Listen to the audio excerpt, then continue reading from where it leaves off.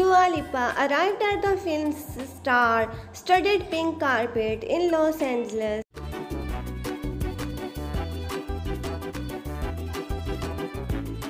This Barbie is positively slaying. After serving us the song of the summer by releasing the Barbie movie soundtracks Dance the Night back in June, it appears Dua Lipa is leaving to serve once again. On Sunday, the multi hyphenate arrived at the film's star-studded pink carpet in Los Angeles